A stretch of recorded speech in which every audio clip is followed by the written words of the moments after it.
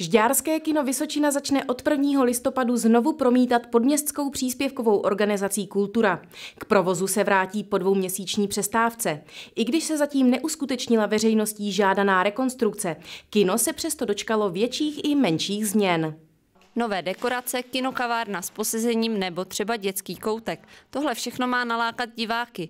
Největší změnu ale přináší nová koncepce programu. Promítat se bude od čtvrtka do neděle. Čtvrtek je všeobecně v České republice premiérový den, čili to znamená, že vychází buď spousta, nebo aspoň některé dobré premiéry, které my bychom chtěli uvést právě v den jejich premiéry. Změní se i časy a počet promítání. Čtvrtek a neděle nabídnou po dvou filmech. V sobotu si diváci vyberou hned ze tří možností. Pátek je opravdu Žďárce takový silný den nebo silný večer, který patří převážně zábavě. Kino se také vrací k tradici čtvrtečních artových filmů a nedělních promítání pro děti. Vstupenky do kina se budou prodávat i přes online systém. Novinkou je i propojení jejich prodeje pro kino, divadlo i dům kultury. Je budete moct zakoupit na jakýkoliv, na jakékoliv představení v Domě kultury, když tam bude otevřeno. A na druhou stranu zase můžete divadelní představení koupit tady. Kromě programových změn čekají diváky vymalované stěny, posezení ve vestibulu a prostor jedné ze šaten zabrala dětská herna. Občerstvení nabídne nová kavárna. To jsme našli staré fotky v jedné staré hospodě, co se bude asi bourat.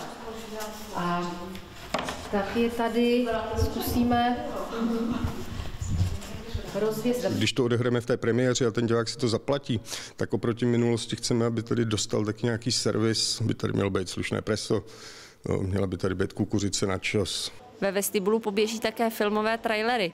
Lépe osvětlená je i chodba před vstupem do sálu a často kritizované sedačky si zájemci můžou zatím vylepšit pod sedákem. Sál na svou rekonstrukci teprve čeká, ale prvních změn se dočkal už teď. Pro větší pohodlí diváků byly odstraněny tři řady sedaček. Právě rekonstrukce je častým námětem dotazů. V pololetí příštího roku končí platnost revize elektrických rozvodů a právě v té době by proto Lorencová ráda navázala opravami. Ve špatném stavu je hlavně technická část. Uvidíme, eh, do jaké míry eh, oslovíme eh, novou radu a jestli budou mít možnost najít finanční prostředky, aby se udělal projekt a vlastně následně na to vlastně došlo k těm změnám. Plakát se 14-denním programem najdou diváci kromě stránek Domu kultury také na plakátovacích plochách a vývězkách. Prostor pro náměty a připomínky poskytne nový Facebook.